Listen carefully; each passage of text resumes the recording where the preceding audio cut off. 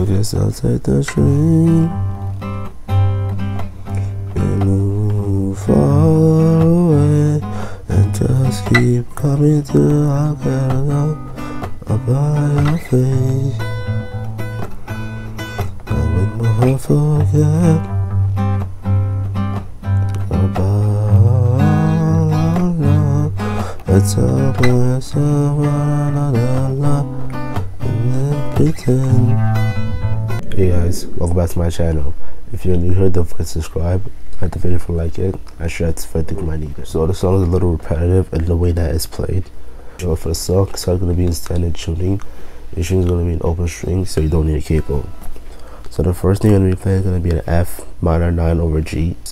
Then that's going to be 6th string 3rd fret, 4th string 3rd fret, 3rd string open, and 2nd string 1st fret.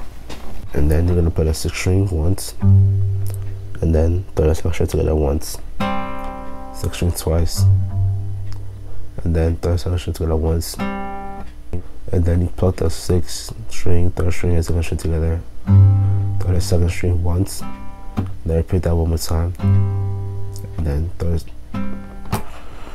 And then you're gonna play the exact same thing but you're gonna move your finger from second string first fret to third string first fret. So now you're gonna play sixth string third fret fourth string third fret third string first fret second string open. Play the exact same plucking pattern just played and then you're gonna go to a C minor 9 over E. But that's gonna be fifth string third fret fourth string second fret third string fourth fret second string third fret. Play the fifth string third and second string together. F fifth string twice. Third and second string together and then fifth third second string and then third second string once by itself then play that part one more time. And then you're gonna play uh A minor 9 that's gonna be fifth string open, fourth string, fifth fret, third string, fifth fret, second string, fifth fret, first string, seventh fret. Play the same fucking pattern, just play for the C minor 9 over E. So this is how the first I was like. I guess I'll take the. Mm-hmm.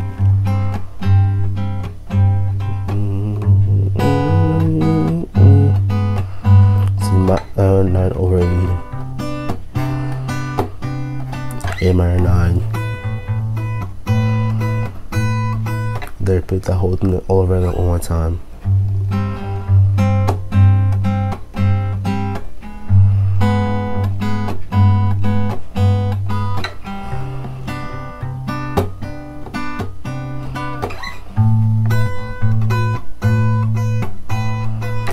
Then you go to an F major 7, play that's going to be 6th string 1st fret, 4th string 2nd fret, 3rd string 2nd fret, and 2nd string 1st fret. And then you're gonna play the exact same plucking pattern that you played for the F minor 9 over G. And then you go to a B flat 13 that's gonna be 6 string 6, six fret 5th string 6 fret 4th string 6 fret 3rd string 7th fret 2nd string 8th fret then you play a 6th string 4th 3rd 2nd and then you play the F minor 9 over G once. And then go to the next one. But for the next one you just play the 6th string once. Third second string together once. 6th string twice. And then third second string together once. And then put the 6th third second string together once so this is how that end part sounds like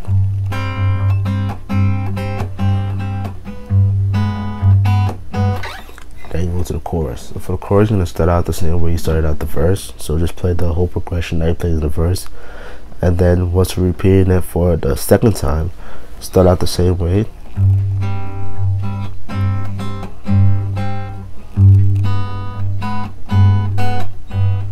Then instead of going to C minor 9 over E, go to the A minor 9.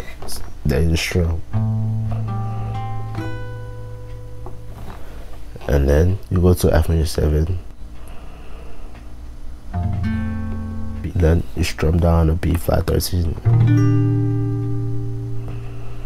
and then go to the next verse the next verse you're gonna play the same way you the previous verse in which you play that whole progression twice And after you play that whole progression twice, go to the F major 7. And then B flat 13. And then you strum down on the A minor 9. That's pretty much how the song ends. So that's how the whole song sounds like all together. Also, the reference I used for this video is the live version she has on her channel.